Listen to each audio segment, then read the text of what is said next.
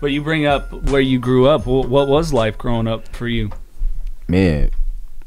So we was on welfare, you know, in the apartments. Me and my mom, and she had an addiction problem.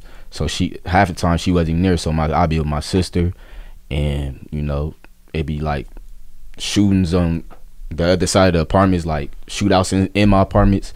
Uh, just seeing a lot of your friends die. You know, I was a pallbearer. I had to carry my friends a casket like twice before the age of twenty one like 19, 20, like back to back. 19, 20, I think. Before 21 or 22, I carried my friend's casket. So, like, a lot of death. A lot of death. Yeah. How did you even find that?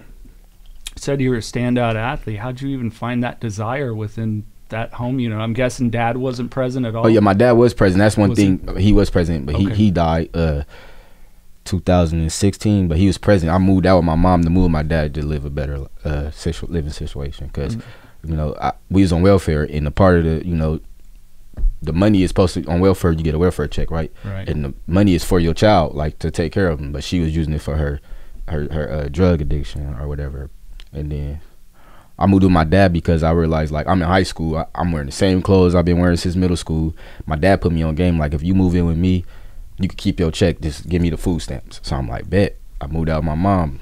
I was a mama's boy too so I had I it hurted me to do it. I moved out moved with my dad.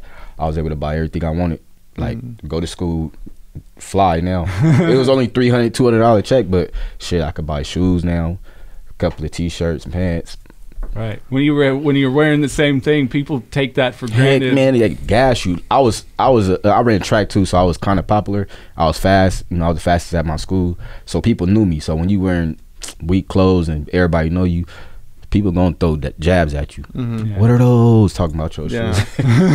I'm glad shit that hurt. m- phase is over. The what are those things? Oh. hey, I, y- My nephew did that to me once. I'm like, you little shit.